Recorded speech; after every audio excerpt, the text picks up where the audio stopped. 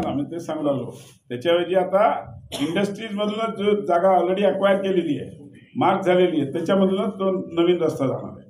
म्हणजे धुळे सोलापूरला येस त्यावरती तीन प्रकारचं presentation honourable transport minister Gadkari साहेबांच्या ऑफिसमध्ये दिल्लीमध्ये झालं होतं. एक प्रेझेंटेशन होतं बिडकीन टू शेंद्रा अगदीमध्ये ज्या डी एम एशीतूनच घ्यावं. अगदी त्याच्यात काही मोठा रोड होता. दुसरा प्रेझेंटेशन होतं जिथं दोनशे अकरा नॅशनल हायवे टर्न करतो बेडकींकडे म्हणजे निपाणी. निपाणी टू शेंद्रा.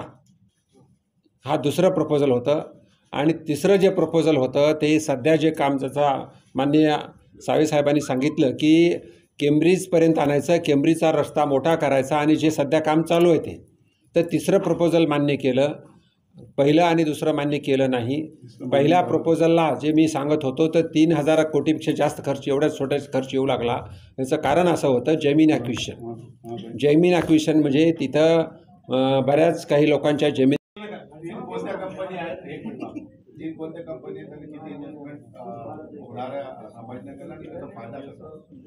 छत्रपती संभाजीनगर शहर हे एक औद्योगिक शहर म्हणून देशभरामध्ये ओळखलं जातं. या शहरातून रेव्हेन्यू जनरेशन केंद्र सरकार असेल राज्य सरकार असेल मोठ्या प्रमाणात केला जातो आणि रा राज्याला आणि केंद्राला मदत होते. या ठिकाणी डी एम आय सीसारखा प्रोजेक्ट सध्या इन्फ्रास्ट्रक्चरसहित तयार आहे.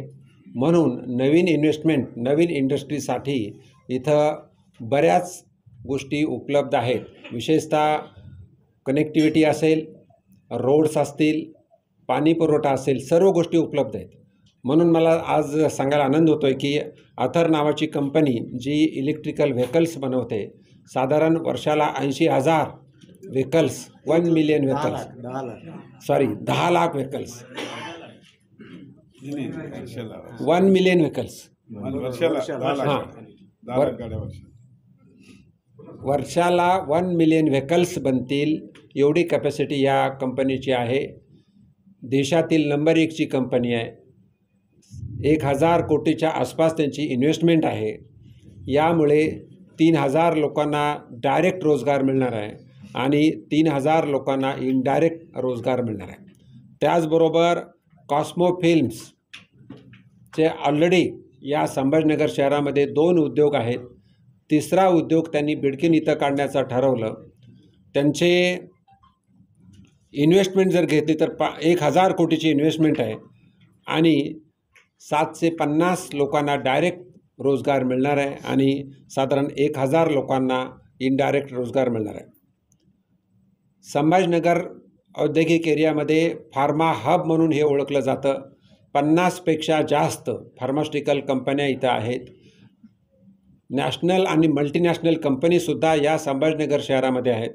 आणि साधारण पिरॅमल फार्मा ही जी कंपनी आहे तिनं एक हजार कोटी इन्व्हेस्ट करायचं या संभाजीनगर शहरामध्ये ठरवलेलं आहे. एकशे चाळीस एकर जमीन बिडकिनला घेऊन एक हजार लोकांना डायरेक्ट आणि एक हजार लोकांना इनडायरेक्ट जॉब मिळण्याची शक्यता आहे. एकंदरीत संभाजीनगर शहराच्या दृष्टीनं आणि मराठवाड्याच्या दृष्टीनं ही मोठी गोष्ट आहे. धन्यवाद.